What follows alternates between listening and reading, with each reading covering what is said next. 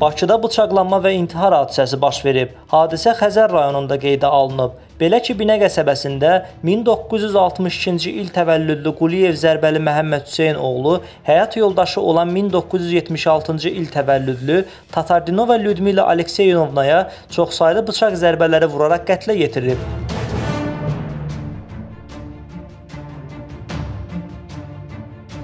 Daha sonra Zərbəli Quliyev özünü kəndirlə asaraq intihar edib. Hadisənin təfərrüatları barədə Xəzər rayonu prokurorluğunda araşdırmalar aparılır.